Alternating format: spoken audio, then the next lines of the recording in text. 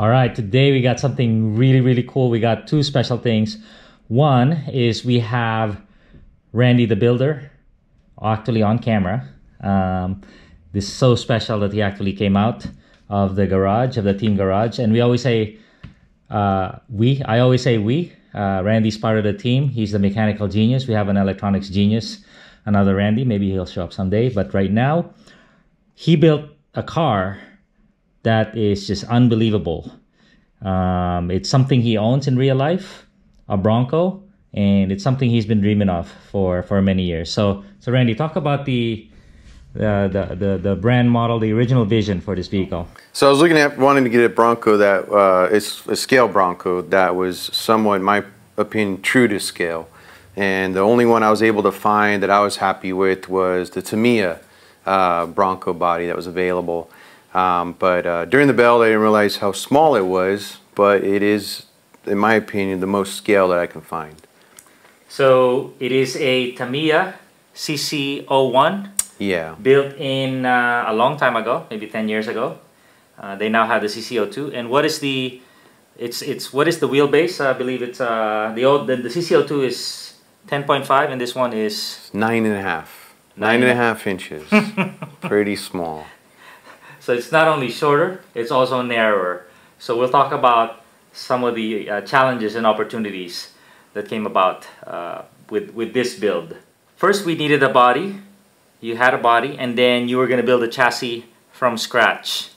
Yes, I, I was going to build a chassis from scratch and started pricing everything out. And then I came across the SSD Trail King Pro, and I was pretty happy with it. Came with the scale transmission, scale engine, uh, chassis is pretty the same as all the other chassis I've noticed, and that's kind of what inspired me to get that chassis for the build. It was price, it came with all the components I wanted to start with, and, that, and that's where I basically took off. So for the body comparison, you can see here, this is your 12.3 Proline Bronco, 73 Bronco body.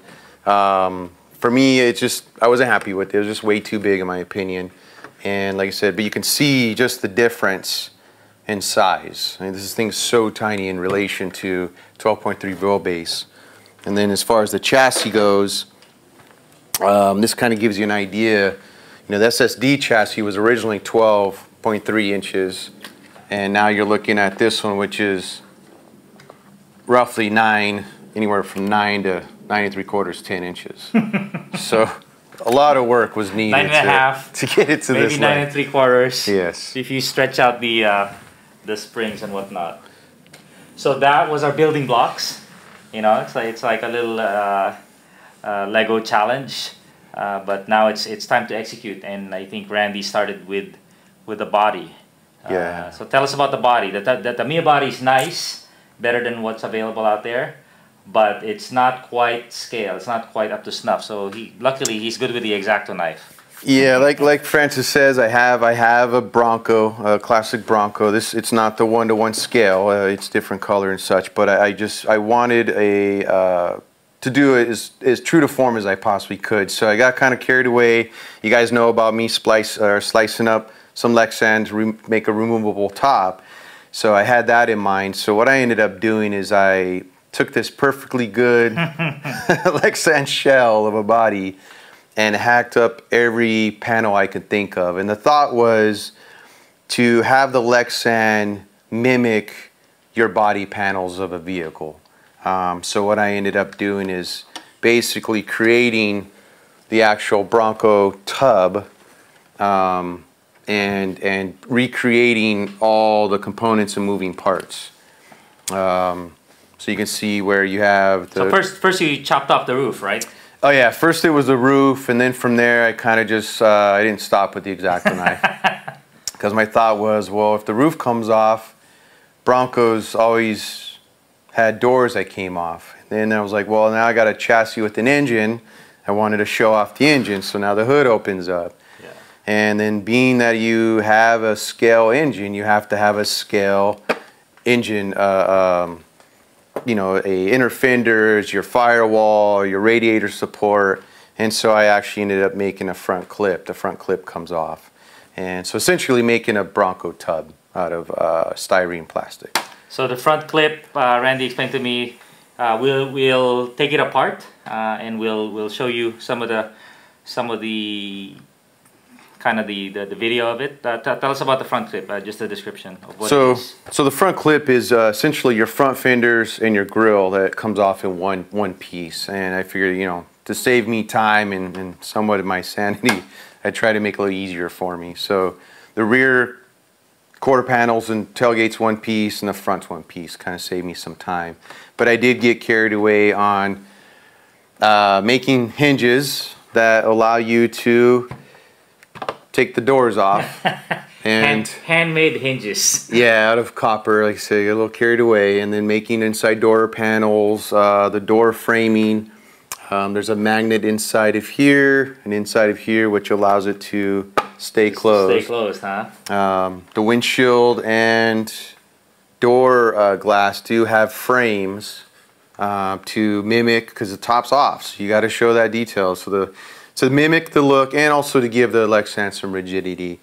And I will say that the Tamiya body, when I sliced it, it actually stayed true to form. Right. Uh, it didn't bow out. It didn't have some weird, you know, uh, flexing of any kind. It literally stayed. Right. On, a, on, on, our other body, we ha- Randy had to build these uh, structures, these skeletons, yeah. because the the uh, the Lexan just wouldn't hold form. So again, getting carried away, I did do interior um, the seat does. So tell us about the tub and uh, what you did to create one. So I took uh, 16 inch uh, styrene plastic and, and CA glue and basically glued um, each piece and component to the Lexan. I scuffed it up first so that there was some bite and, and started building the, the tub of the, the body, just like the, the real thing. And so, um, again, that's how you got the inner door panels. Uh, the I'm sorry, the, the dashboard. The dashboard. My mm-hmm. bad. My the dashboard. And and that was really the reason I chose the Tamiya because the grill of the body was actually really nice. It was it was chrome. Right. It was a plastic piece to separate. It had you know holes for the LED lights, and so that right there was also a selling feature that I liked about that body. Mm-hmm. Tell us about these doors. Um, obviously, Lexan is just a thin, one-dimensional piece, but you, you're able to make a 3D piece out of it. What do you, what do you do to create that? Well, first I had to do is is figure out, you know, obviously matching up the the inner. So when I first made the tub, I had to figure out. Um, I, I, first thought was going to have the top uh, attached with magnets like we did the Scout, and so that was the first thing I started building. And then once I got my depth for you know the the uh, door uh, frame, and then I started making the actual doors themselves to match the inside of the actual tub. Mm-hmm. And, and then from there, again, it's just layered plastic, um, painted glue. is it hollow? It is hollow. Mm-hmm. Um, so, I mean, you do seam, see seams um, here, which we'll show you at a close up view. Mm-hmm. But uh, I had to do that in a way where, um, you know, I had to reset and countersink the heads because with the closing, um, they did have they hit a little bit. Yeah. So uh, again, making the dashboard scale as I possibly could. Um, for all the little knobs and components for your heater, your lights, your radios, I just used the small screws that you would get for um, like your wheels. You know your your uh, your um, the rings, um, bead locks. And then what I found is I um, went with my daughter over to the craft store and found this foam that you know usually used as placemats or just crafting. And so I thought it'd be perfect because it came in different thicknesses and I was able to shape it like a seat. And then I was able to cut the grooves in. The driver's seat doesn't have it because the driver covers it, but um, uh, you can see where I just carved in the um, pleats that the mm-hmm. seats usually came with. And then so, and so for the interior, what I had to, to keep in mind is um, once the interior was built, which I made first, I kind of forgot about the electronics. Yeah. so so keeping in mind that I know I had to build a rear seat to try to stay true to form, I took the opportunity, like true to form, the seat folds up, gives me the room I need, and then I made a hatch to get to my battery. And so here's the rear seat. And so with the body mounted the chassis, now I have access to the battery. Basically the only point in place I can put a mm-hmm. battery. Right. So.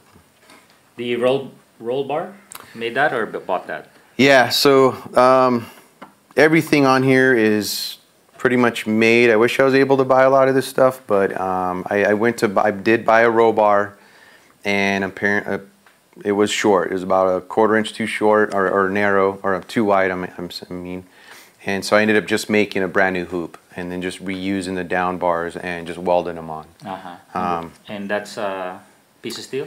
Yeah, it's just a, uh, I think it's 3 16ths, uh, just mild steel, uh, cold rolled steel. Um, and just, yeah, pretty much made a row bar. So when this rolls down the hill, like 100 feet, you're still protected? Sure. I hope I don't ever have to do that, but I mean, if it happens, it happens. So. This won't break. Yeah. Okay. Anything else on the in interior um, before we move on to?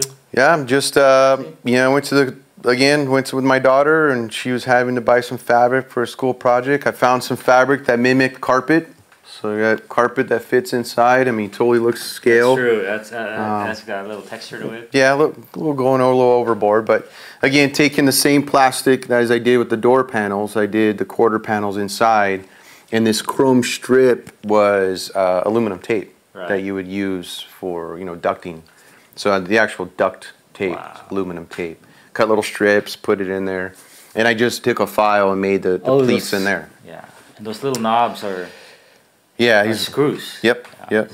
So um, and then for the interior components like the steering wheel, the shifter, the steering column, mm -hmm. and the uh, armrests on the doors was an Axial piece.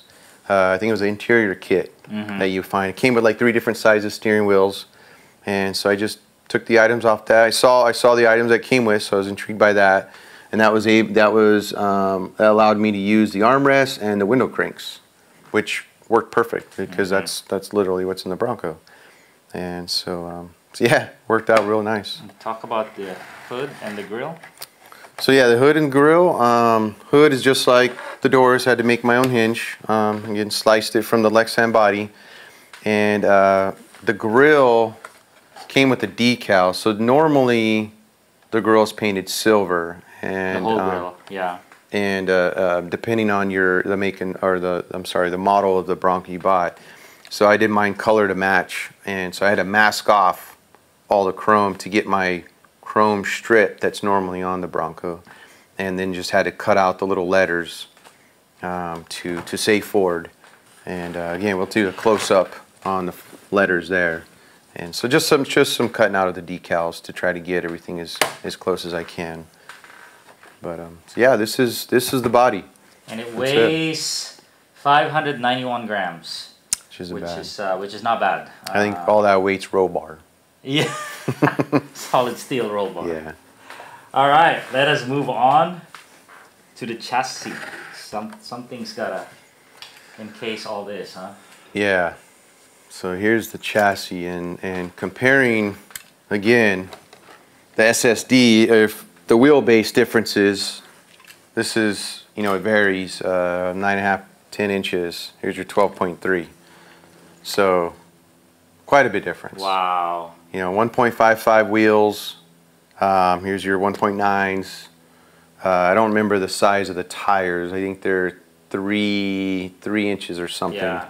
Um, these obviously is 4.75. So it is a lot of work. Wow. A lot of work.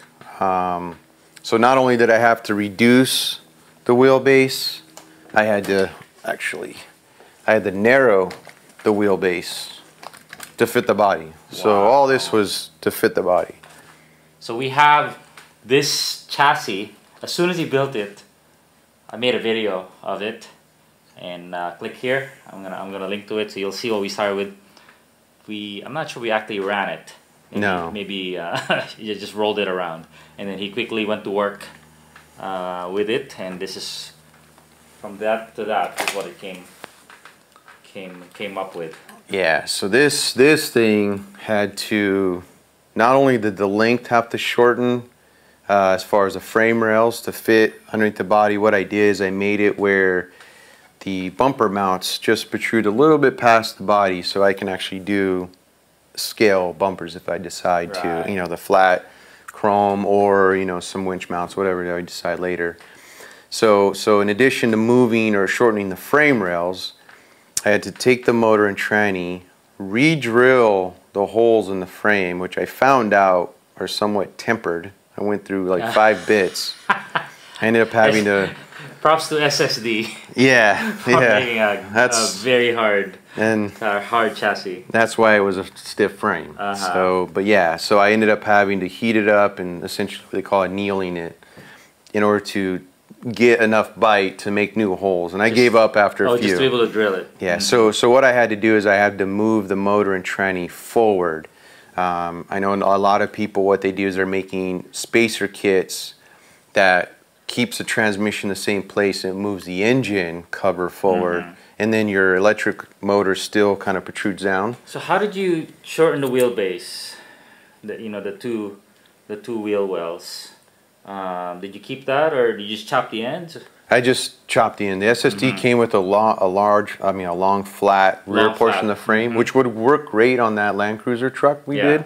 did. Um, so I ended up just just hacking that. Okay. So after I moved the tranny forward and the motor tranny uh, motor forward to kind of match up to the shock mount, the the wheel placement stayed the same. The shock placement stayed the same because of the panhard, and the steering mount stayed the same. I just moved the motor and tranny forward. Yeah.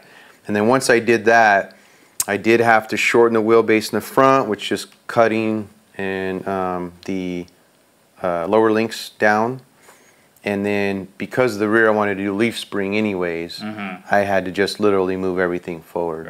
Right. Um, and you'll see a little close-up shot of how tiny and short this front drive shaft is. It's only about that big. So before we move on to suspension, let me do my chassis test. A little bit of flex, but not not much. And uh, you did. Um, he did. Uh, this is different from the SSD, the front and rear suspension, right? What did you do? So the front um, is so what I had to do. If you look underneath here, I had to literally narrow the axles and um, shave off the three link mounts on the rear. Rear axle is really easy. I have a lathe, so I was able to re-lathe how the axle slides in the center diff. Mm-hmm. And so I literally just cut it and re-stepped it for it to slip in. It's actually pretty easy. Uh, making the leaf spring mount was a little more difficult. And as it is, um, hate to bring it up, but I have to remake these. I'm not happy with it. Right. So, anyways, for the front was really challenging because you have your steering um, knuckles and the three links was part of the, you know, again, like the rear, part of the axle shafts. I essentially took them off because I couldn't narrow it without making everything off centered or, mm-hmm. or off. So I had to shave them off completely, narrow the axle, and then remake the three link mounts Wow. and then reinstall them. So it, it was a quite a bit of quite a bit of work, a lot more work than I expected. I almost canceled the project because of Because that. of that part. Because of that part. Yeah, he he had doubts. yeah, yeah. I almost gave right, up. right around there. So um, And then the uh, the the drivetrain, drive shafts. yeah, drive shafts. So the SSD drive shafts is the only ones I was able to find. Uh, you know, a short time period I was trying to stay within that are and keep in mind that their drive shafts are uh, splined all the way through the length of the shaft. So another brand that I, I, I picked up, only the end of the shaft was uh, splined for that for that um, slip uh, yoke portion. And as soon as I cut that off, I lost that drive They shaft was lost useless. spline, yeah. So I, I found these and they ended up working perfect because I, I had to really shorten these. These are real short, especially the front. Right. Um, there's only about this much of the the outer uh, drive shaft that's that's used. Right. Um, so that tells you how, how, how nice that And product even is. um, even with the short, tough angles, it's able to articulate okay. yeah, and again, this you know it's not going to be a rock crawler. It's a, it's a scale trail rig, so it's there's not much flex to it. It's more scale than anything else. Um, then I found some uh, 90 millimeter um, shocks, scale shocks by RC four wheel drive. Um, I still got to get some for the rear um, for the leaf springs because it kind of bobs a little bit. Uh, spring rate will, can probably change, but it, it actually sits Yeah. quite well. You got some nice sag. Yeah, yeah. The rear, the rear spring is okay too, huh? Yeah, rear spring rate. I ended up uh, having the soft springs, um, and then I took the original Tamiya springs that I had on hand, and I, I made a uh, overload spring, just real short to compensate for this roll bar weight. A roll bar is a little heavy for being solid Right. steel rod, and so I might end up doing the RC four wheel drive. Uh, not the super soft, but there's another in between softness Mhm. that comes with two or three leaves. I might go with that and then play with those to see see how I can kind of increase the back. But like I said, overall it sits actually quite nice. Yeah. I'm not. I'm not. I'm actually happy with. it. I'm not disappointed. Um, had to make sliders. Made to make sliders to protect the body. That's Um, right. So I made some aluminum sliders, cut down on weight. Um, just simply bent them to to come up along the bottom Yeah. rocker of the body. Meet up with the so body that I can perfectly. Mhm. protect it, salvage all the work I These, did. these are some of the best performing sliders we've ever tried because they are butt up against the body and very very slippery. Yeah, yeah. So let's talk about motor and electronics. Yeah, so I had to. I was I was short on space. I did all this work, and my second thought, and and you know my afterthought, unfortunately, was electronics. I completely. I was so in, engulfed in making the body fit the chassis. I then realized, okay, now I have a space issue. So, luckily, um, MST. Uh, yes. Yeah, they have a low profile servo. MK, MKS. Oh, MKS. I'm sorry. Low From- profile servi servo that you know I'm not. I don't need a big torque servo. Like you know, it's not a crawler. So I was able to find a low profile. Hundred sixty dollar servo right there. Yeah, which a little painful in the wallet, um, but looks nice. Um, and then I went with the uh, Spektrum five channel mini receiver, which fits right on top. I haven't made a a shroud for the radiator yet. That's again another. It's, everything's work in progress, right? You're never finished. That's right. That's right. Um, and then I went with the Hobbywing ESC waterproof. 1040. Um, and it fits right under the driver's seat uh, space because where the driver's seat is, the floor pan comes out more. A little bit extra room, so it fits right there. Then again, my only option to where I can place the battery, I had to make a tray. And, and then again, take the seat out to get to it. Because the body mounts, the way the body mounts, it's screwed on. It's screwed on. Um, it's almost once- like a hard body, yeah. yeah, yeah, there ain't pins or nothing. So once it's screwed on, and the only thing you really need to get to is the battery, anyways. Right. So, um, so How do you turn it on? Oh, you could uh, slip your finger. yeah, slip my finger the through the rear well. well Yeah. and um, and get to it from there. So what about the motor? Where's the motor on this little? Motor is tucked away, Uh-huh. hidden underneath the motor here, or the uh, engine, plastic Yeah. engine, uh, which Uh-huh. is nice. What did you go with? Um, oh, the Holmes Hobby. Holmes Hobby Uh, was Crawl- it Crawlmaster. 27 turn? Crawlmaster. Five had to be a 540, huh? Yes, yes. Um, I was given no. a, or had a 550, No 550 allowed. which was about 3 sixteenths too long yeah, uh, for this engine. yeah. I'm like, just trim it. yeah, And, I, and and now I see there's no trimming Yeah. here. yeah. But uh, so yeah, overall, I'm, uh, it came out real nice. I think it was. I want to. I want to say it was more luck because everything kind of just fell in place. All right, we're all fits. Motor, electronics, body. Why don't we uh, just just do a little operation? Uh, let's, let's see you running, Randy. And then this weekend we're gonna go out on the trail, have a little follow cam, maybe a lead cam, and and really get this thing on on our nice creek trail. Yep. So there you go. All works. Forward, back. And can't wait to take on the trail and try to see this thing how see how this thing goes. Right on. So, so Randy, what did you learn uh, in, in this journey? What, do you have any advice for, for our audience? I'm, I'm sure they'll have advice for for Randy as well. Patience. Patience. Uh, like I said, just you know, sticking with what your project is. Take the time, take a break, rest your mind, and then just go back at it. Uh, try not to give yourself such a too short of a window to com- complete your project. Uh, right. You'll burn yourself out. You get frustrated, but yeah, just take you take your time, step back, and just kind of think it through, and then um, and then hopefully it all comes out. Yep. So please let us know in the comments what you think uh, of, of this project. If you have ideas for for for future projects, not that we want to lose Randy for another few weeks, but uh, let us know. What you know? What do you think of um, these little things that we're into? So we're gonna be trading this weekend. So uh, tune in for more of that.